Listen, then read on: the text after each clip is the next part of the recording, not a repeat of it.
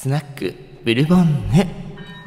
いらっしゃいませ。ま今日はね男装ですよ。今週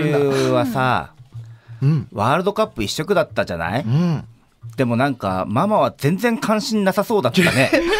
いやいや日本頑張れ、うん。あちょっとなんか多舌足らず分ねあんまりに言っちゃった。他にもなんかいなんか他にワールドカップ並みに関心があるあのことがあったんです大ビうちらッグニュースがあったんですよそううちらね。界隈でもおおっていうね結果が出たものがありまして、えー、30日にね実は東京地裁である判決が下ったんですけれどもあのもともとあの結婚の自由をすべての人にを合言葉に同性婚を認めないのは憲法に違反していないかっていう訴訟が実は今東京のほか札幌名古屋大阪福岡と全国5カ所で起こされているんですね。で、えー昨年札幌地裁では法の下法の下の平等を定めた14条に違反するという違憲判断が下ったんですよ。踏み込んだ判決でしたね。ね話題になったよねうん。で大阪地さんは合憲だといはいう判断で、まああのまあ、原告団はがっかりもちろんしていて、まあ、そうですねだからあのいい例えがあれですけどまあ一生いっぱいみたいな形だったんです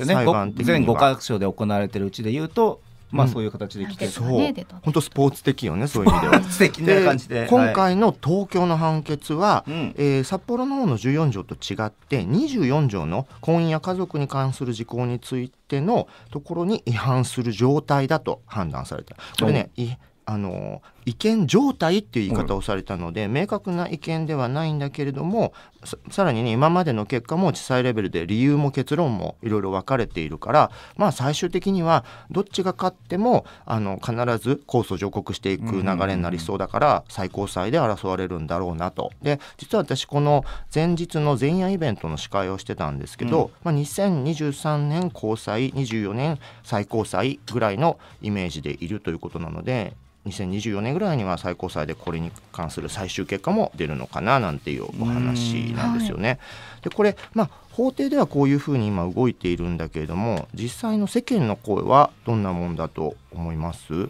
例えば綾野とかは同性婚ってどう思う？知ってほしい日本もあ賛成に。嬉しい素直にそうやって言ってくれて。ただ実はねもう1年半前の2021年3月の無作為電話の世論調査の結果では同性婚を認めるべきとの回答が65%やっぱり多いじゃないですか。そう。しかもあれ綾野今おいくつでした？三十一。あーごめん。18歳から29歳の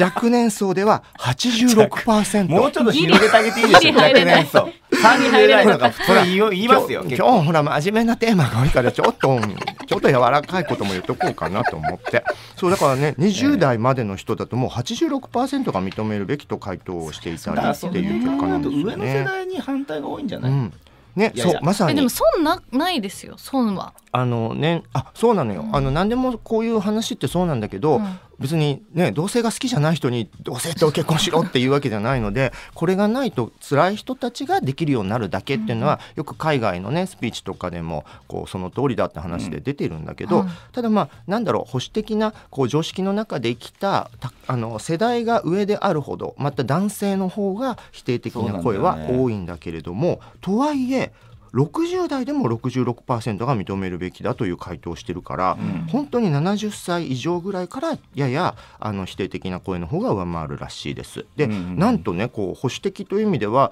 その自民党支持の方でも57%過半数が認めるべきだと答えてて、うんうん認めるべきではないって回答は32%なんだって。まあでもやっぱり3割はそういう支持層を抱えてるってことだよね。あまあそうだね裏返して言うとね。そうだねだやっぱその3割が結構こう強烈でうるさかったりと言ったらあれだけど声を上げ始めたりとかするときに、うんじゃあどこまで無視できるのかっていうのは多分抱えるんでしょうね。そうねまあとはいえなんかさこんなにはっきり認めるべきだって回答を7割の人、うん若い子は本8割の人が認めてるっていうのは、なかなかすごいなと。で今回のその訴訟とかもこうバックアップしてるマリッジ・フォー・オール・ジャパンという団体は、まあ、どの調査でも賛成は若い人ほど多くまた女性に賛成が多い傾向だと。で少数者の権利保障は単純な多数決によるべきではないけれどもほとんどの層で賛成派の方が上回っていることが明らかになっているんだからこういった法正化を検討するっていうことに対してよく慎重な検討が必要とか社会の理解が必要って言葉で交わされるんだけど、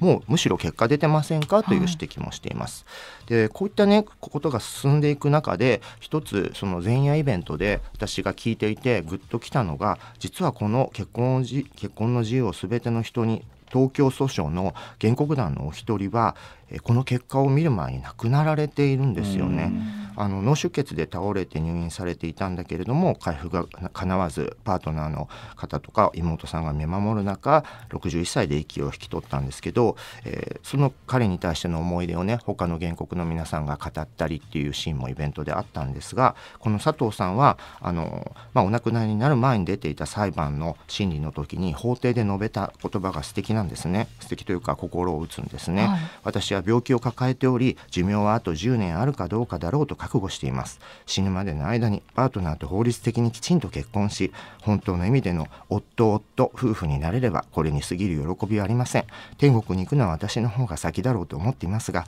最後の時はお互いに夫婦となったパートナーの手を握ってありがとう幸せだったと感謝をして天国に向かいたいのです。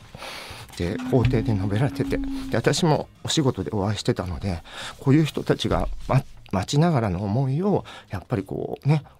なかなかそういうのが実現しないなって中で世の中動いていっているのでやっぱりねこういう人たちが幸せになることをなぜ歯止めかける必要があるのかなと思いますね。うん、すいません。ちょっと胸がいっぱいになってしまいました。まあその今のお手紙は胸がいっぱいになりますね、うん。読んでたらやっぱりグッときますよね。菅さんの、えーもう今お亡くなりになってね。なかなか予期していたかのようにちゃんと残していったうん。あの次につなげるために残していった言葉だっていうふうに受け止めていくとやっぱりこう、まあ、今回の訴訟っていうのが持つ意味って僕は結構大きいと思ってて、うん。東京地裁がやっぱり違憲状態にあるって言ったことの意味ってあの多分想像しているよりもはるかに大きいんですよ。多分法法律の業界の放送の人たちに言わせると。なのでなんか多分この後のあと福岡となんか